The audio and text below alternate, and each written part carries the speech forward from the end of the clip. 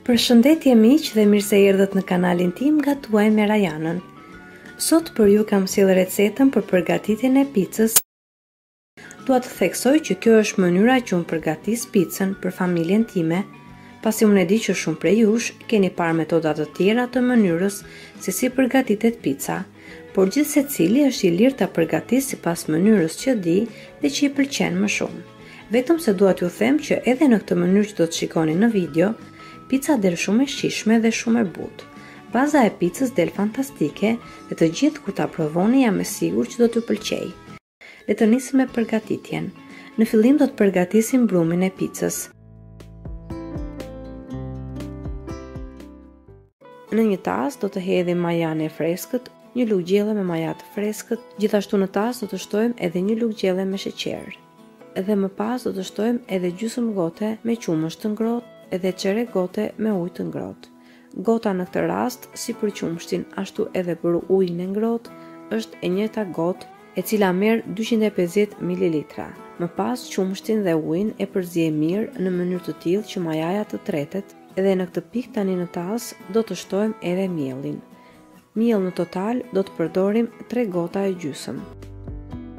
Do të përdorim të njëjtën gotë siç përdorëm për ujin edhe për qumështin. Më pas do të shtojmë në tas edhe kripën dhe të gjithë përbërësit do t'i përziejmë së bashku për të formuar një brumë të butë që nuk ngjit nëpër duar. E punoni mirë e mirë brumin për të paktën dy ose tre minuta, ose edhe më shumë nëse keni mundësi dhe nëse keni kohë,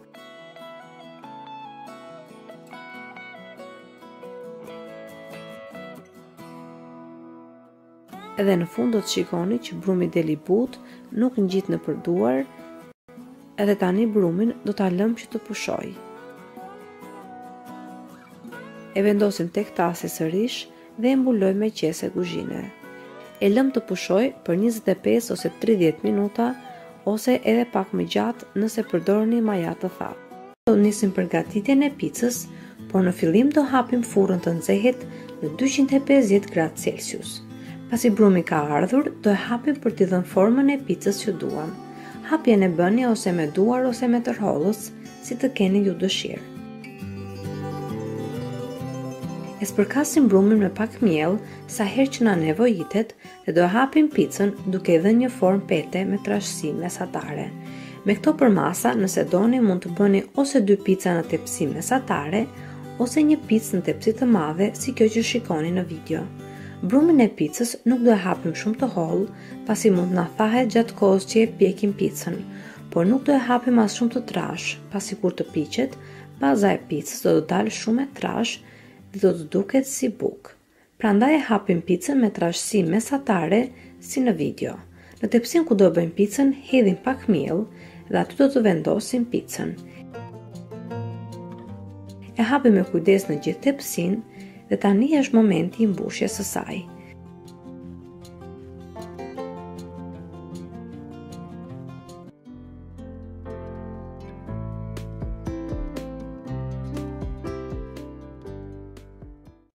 Në fillim do hedhim disa lugë nga salca e domates që përgatitëm dhe do e hapim në gjithë sipërfaqen e picës.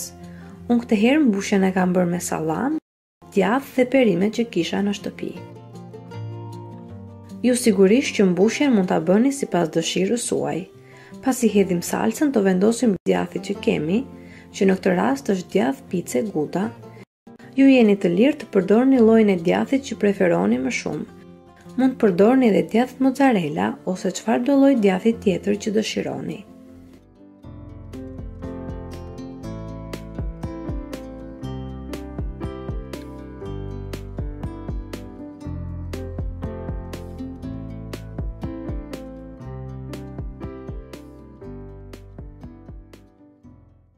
Më pas do të vendosim perimet. Unë kam zgjedhur speca të ngjyrave të ndryshme, ullinj, por ju mund ta mbushni me perimet tuaja të preferuara.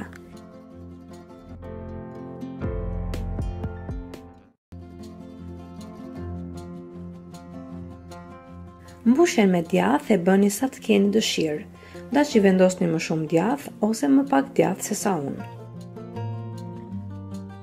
Dhe tani picën do e pjekim.